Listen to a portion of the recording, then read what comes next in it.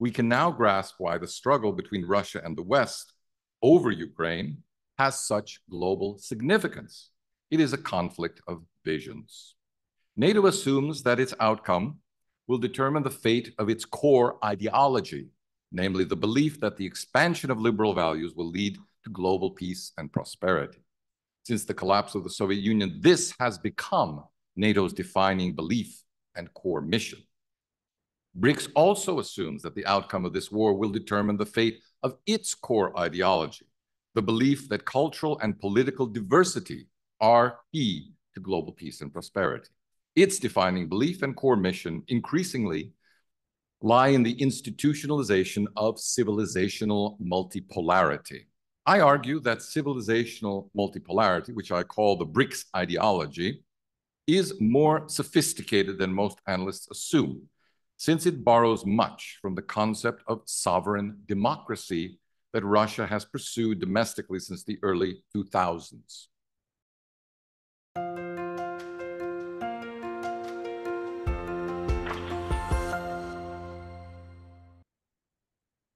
Thank you, Pas Thank you, Pascal. Thank you, colleagues, for for coming and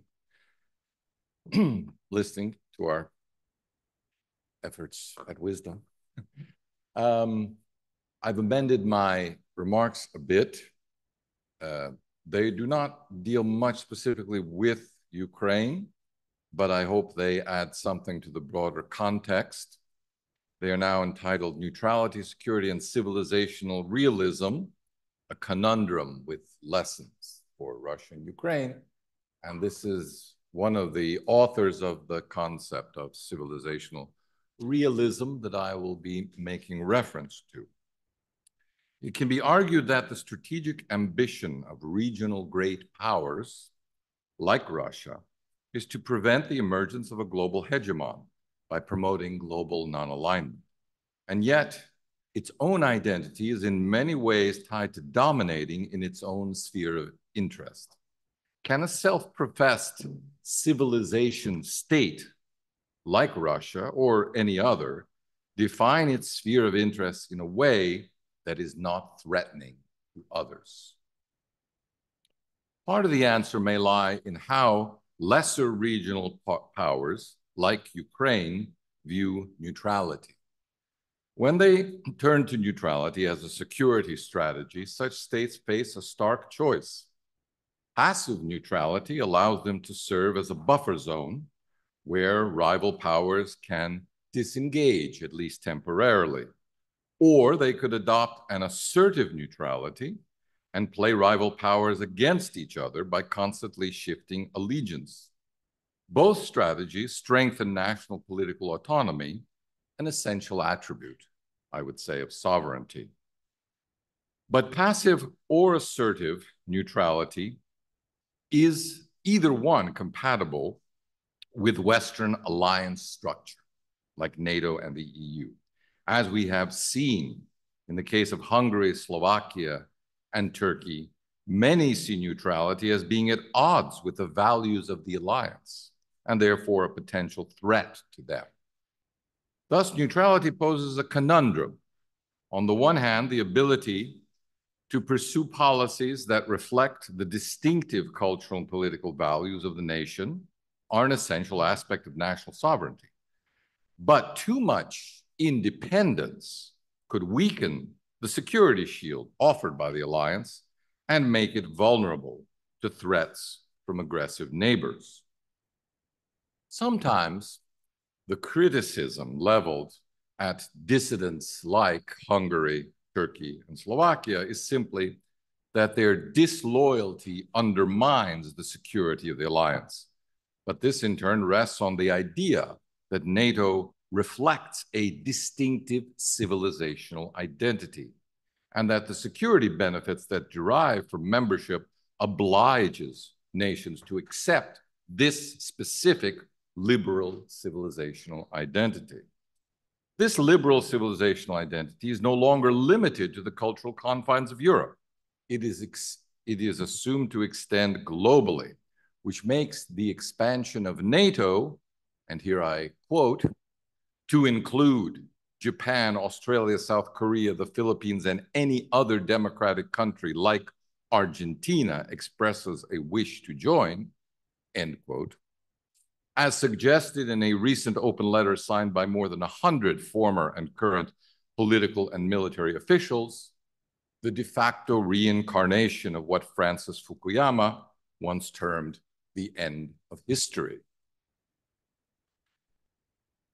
Meanwhile, BRICS countries are promoting a very different view of the relationship between sovereignty and security, one that offers more space for political and values neutrality. Whereas NATO presumes that the cultural and political ideals of states must conform, lest global security be undermined, the BRICS alliance is premised on the idea that it is political and cultural diversity rather than unanimity that enhances global security. We can now grasp why the struggle between Russia and the West over Ukraine has such global significance. It is a conflict of visions. NATO assumes that its outcome will determine the fate of its core ideology, namely the belief that the expansion of liberal values will lead to global peace and prosperity. Since the collapse of the Soviet Union, this has become NATO's defining belief and core mission. BRICS also assumes that the outcome of this war will determine the fate of its core ideology, the belief that cultural and political diversity are key to global peace and prosperity. Its defining belief and core mission increasingly lie in the institutionalization of civilizational multipolarity. I argue that civilizational multipolarity, which I call the BRICS ideology, is more sophisticated than most analysts assume, since it borrows much from the concept of sovereign democracy that Russia has pursued domestically since the early 2000s. At first, there was no foreign policy component to sovereign, to sovereign democracy since Russia was committed at that point to integration into the West. The hope that sovereign democracy might serve as a means of anchoring Russia in the West survived for a decade, but when it was abandoned, it was the emphasis on sovereignty that allowed Russia to transition smoothly from a pro-Western foreign policy to a policy of civilizational multipolarity. Since 2022, Russia has, in addition, begun to define itself as a civilization state.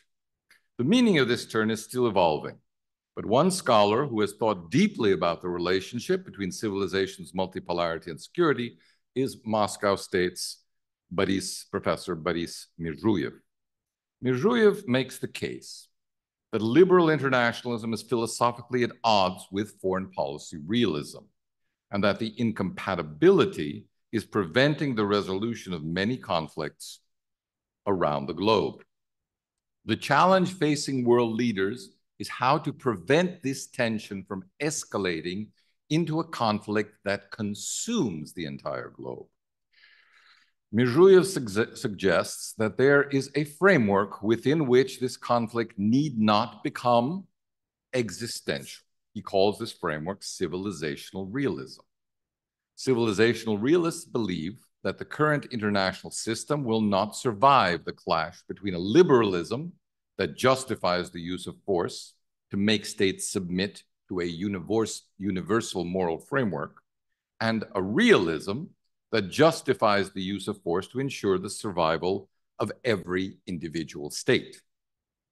Both of these visions lead to conflicts that persist, deepen, and eventually cross national borders. Liberalism should therefore reconceive itself as but one voice among many, rather than the sole legitimate voice for all of humanity. Relinquishing liberalism's claim to universal moral authority is the key to global stability and peace because liberal imperialism has become intertwined with efforts to establish Western hegemony in military politics and economics, all of which rests on the claim of the moral superiority of Western liberal values. Realism must likewise be reconceived so that sovereignty and power no longer serve as absolute moral justifications for state actions. Instead, a newly conceived state system should adopt the philosophical premise of multipolarity in which values neutrality is the summum bonum, and thus even countries with incompatible value systems must learn to coexist. How plausible is such a transformation? Mezhuev is cautious, saying that it would be, quote, a major upheaval in the system of international relations, end quote. But there is a historical precedent for it. In the 17th century, in Europe, leaders exhausted by nearly a century of incessant war warfare chose to reduce the role of religious values in international affairs. I believe that what civilizational realists are calling for is, in effect, a new Treaty of Westphalia that, like its predecessor, would put an end to the prolifer proliferation of values-based warfare. The point of civilizational realism, says Mezhuev, is to make multipolarity functional, to institutionalize it as the representation of diverse civilizational poles, each one with its own cultural and political sphere of influence. To get there, he says, we must, quote, replace the dominant political language of international relations. This may seem far-fetched until one recalls that it is also the call of one of the West's most well-known schools of international relations theory, social constructivism, which argues that new political opportunities can emerge from the elite's choice of a new political language. Therefore, replacing the dominant political language might begin by diagnosing our global malaise as due to fragmentation and suggesting a new political discourse that envisions a global society rooted in common ideals, shared identities, and meanings, thereby avoiding the pitfalls of liberalism and realism, both of which lead to binary thinking. Any social constructivist solution, however, will take generations to implement, and the world may not have that long. I would therefore like to see it paired with the common sense diplomatic wisdom, what is called the English school of diplomacy, and with neutrality. Like civilizational realism, the English school affirms the importance of values diversity. This diversity requires that nations strengthen what the English school calls global society, which is defined as the arena of interaction where national interests overlap. Efforts to isolate any nation are considered irresponsible and dangerous because they tear at the very fabric of our global society. The proper task of diplomats can therefore best be likened to that of a marriage counselor, where divorce is simply not an option. So, how does neutrality fit in? I believe that neutrality, especially with respect to values, fits nicely into the framework of civilizational realism. As I suggested earlier, neutrality is a problematic concept to the extent that it promotes distinctive national cultural and political values, it can potentially make nations less secure. Political and values sovereignty, de facto independence, are thus always in tension with national security. But as the English school likes to point out, the modern nation state system owes much to the idea that in a healthy society, religious values should not only be kept separate from politics, but also rival it in importance. This ancient notion that our deepest values do not derive from politics, but transcend politics, is what ultimately allowed leaders to embrace neutrality with respect to values, even religious values, rather than fight to the death over them. This eventually led to the Peace of Westphalia the end of the Thirty Years' War, and the subsequent emergence of Europe as a global powerhouse for the next three centuries. We sorely need to recapture this type of neutrality today if we wish to avoid another global confrontation over values, one that would dwarf the devastation caused by the religious wars in Europe so long ago. Thank you.